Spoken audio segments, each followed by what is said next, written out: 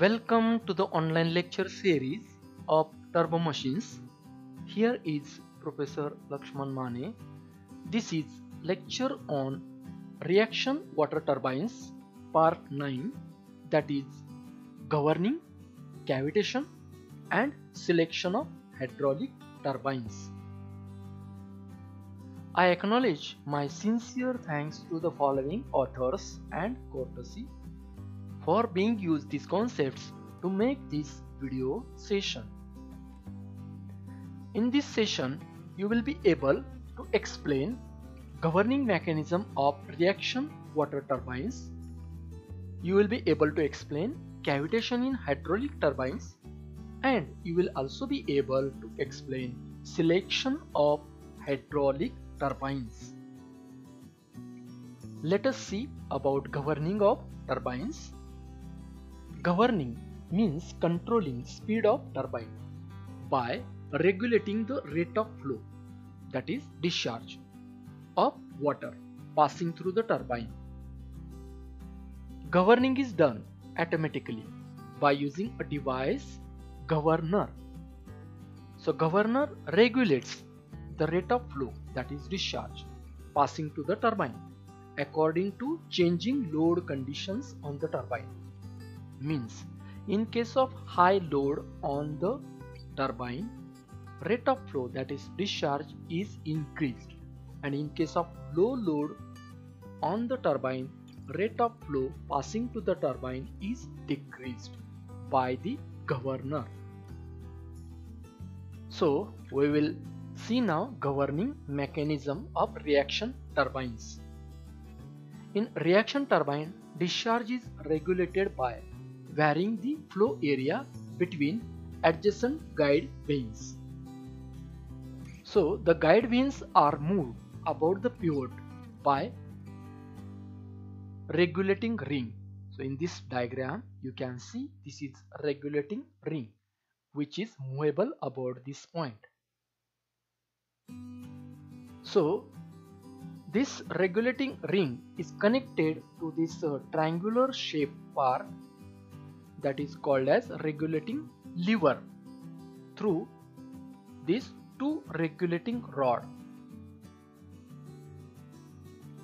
Regulating lever is connected with regulating shaft. So this is regulating shaft with servo motor and which is operated by piston.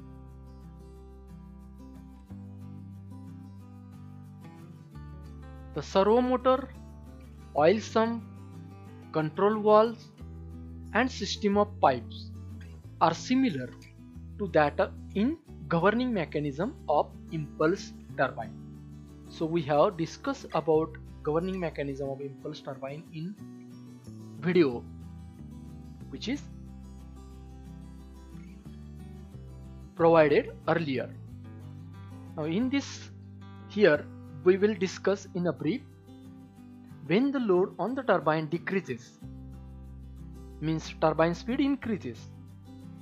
When turbine speed increases centrifugal force on this ball increases. Thus this ball moves away and it will move this sleeve in upward direction. This movement is transferred to this piston rod through this lever and fulcrum and it opens the port V2.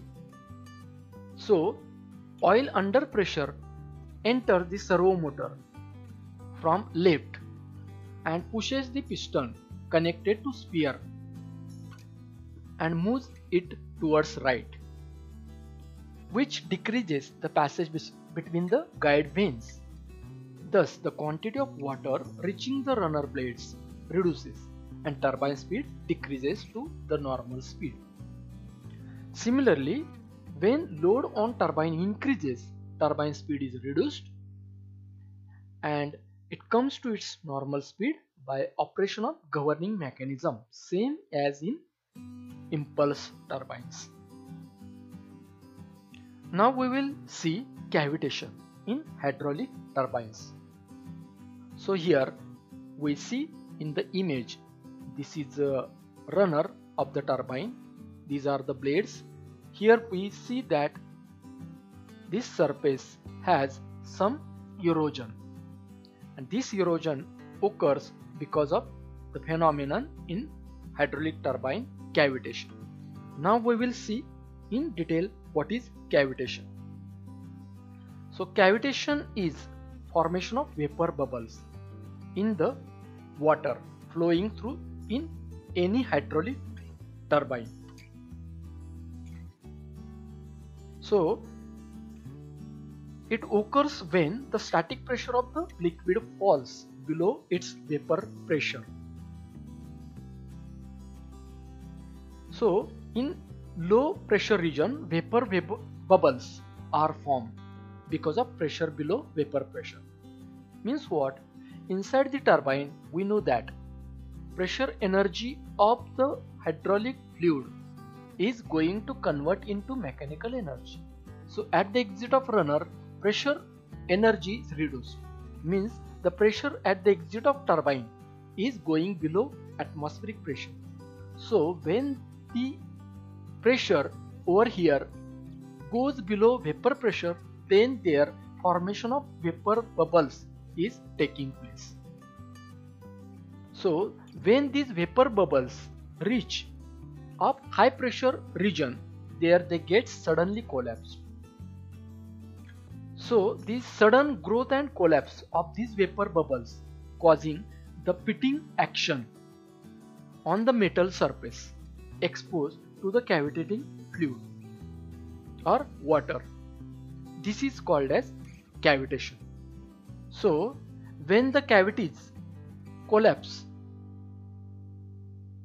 on the surface of a blade due to hammering action, there erosion of material that is called as pitting occurs and this happens because of cavitation. Now we will see effects of cavitation. Cavitation produces extensive erosion of the rotating blade. That is what we have now studied in last slide. It causes additional noise and vibrations. Now how it happens that we will discuss. So the adjoining water rushes with very great velocity and hence it has very great force to occupy the empty spaces and thus created causes series of violent irregular spherical shock waves and it is what reason for the additional noise and vibrations inside the turbine. Then cavitation changes flow pattern.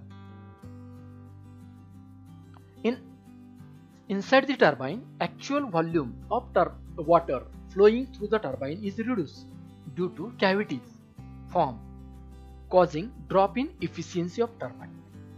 Means efficiency of the turbine is reduced. Cavitation factor.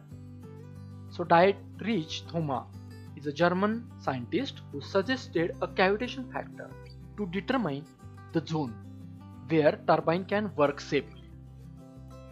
The critical value of cavitation factor that is sigma c which is given by this formula HA minus HV minus HS divided by H where HA is atmospheric pressure head in meter. HV is vapor pressure in meter corresponding to water temperature. HS is suction pressure head. And H is working head of turbine in meter. So here we in the design of turbine we use value of this sigma c to decide whether the turbine is safe or not. Methods to avoid cavitation. So there are different methods. Cavitation can be avoided by selecting runner of low specific speed. It can be avoided by selecting material of runner which resist effect of cavitation. Cavitation can be avoided by using cast steel for the manufacturing which is better than cast iron and cavitation can be avoided by polishing the surface of the runner blades. By the use of runner blades coated with stainless steel, cavitation can be avoided. Now we will see selection of hydraulic turbines. So in selection of hydraulic turbines, specific speed is used in comparing of different types of turbines for the selection. So here is a table in which here are the different values of specific speed for the corresponding turbines. So we can observe over here for the Pelton wheel means impulse turbine the speed ranges from 13 to 50. For reaction turbines in that Francis turbine is for range 51 to 225 and for Kaplan turbine the speed range is high highest 225 above. So there are some points which are to be considered while selecting the right of hydraulic turbine. Specific speed. High specific speed is essential where head is low and output is large because it should give synchronous speed of the turbine. Rotational speed. It depends on specific speed. Efficiency. Obviously efficiency of the turbine should be high. Head. Based on value of head there are three types. We have already seen this part in classification of turbine. High head that is above 250 meter Pelton wheel is suitable. Medium head that is uh, 60 meter to 250 meter Francis turbine is used and uh, for low head range that is 30 meter to 60 meter Kaplan turbine is suitable. Cavitation. So we have discussed already about it. Critical factor of cavitation must be obtained that is by using that formula sigma c to see that the turbine works in safe zone.